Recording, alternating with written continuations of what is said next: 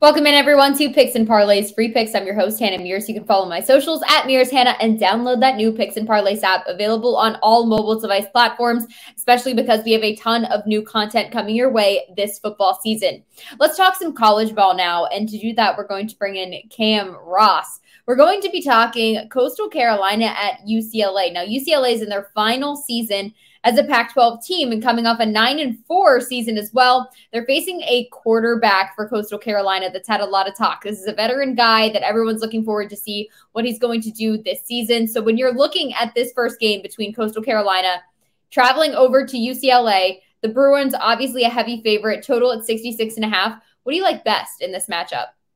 points, points, and points. I do think UCLA can win this game. You know, being being much closer to home, uh, Coastal Carolina has to come across the country, but uh, both teams are going to be explosive.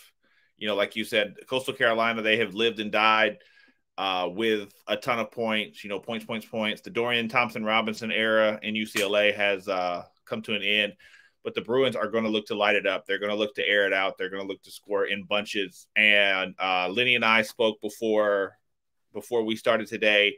Some of these first uh, first weekend numbers are extremely high, but these teams are going to score points. You know, the last 10 games between these two teams, I want to say the average total number of points is very close to 70, you know, dating back to last year.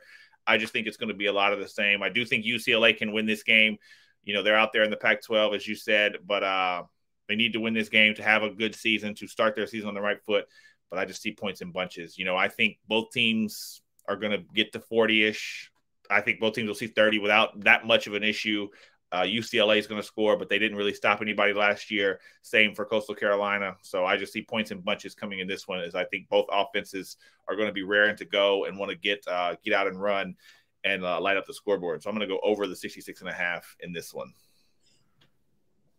As far as everything else, you guys can see my number down below. Uh, we have started the texting and everything up again. That is my personal phone number. That is the the phone that is in my hand all the time. So if you text that number, tell me you saw me on this video, tell me your name, you get a three uh, free three days. So that will actually take you through this first uh, weekend of football. You'll get baseball as well. We're the number one capper on the site in baseball. So text my phone, tell me who you are, tell me where you saw me. You saw me and Hannah, saw me and Lenny, saw whatever, and just uh, let me know what's going on, and you'll get the next three days for free.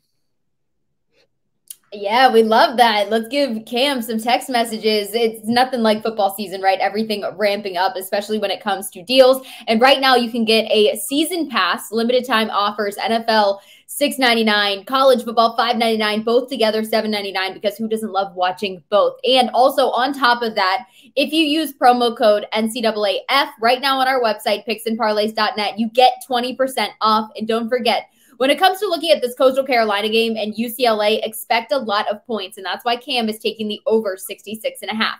Thanks so much, Cam.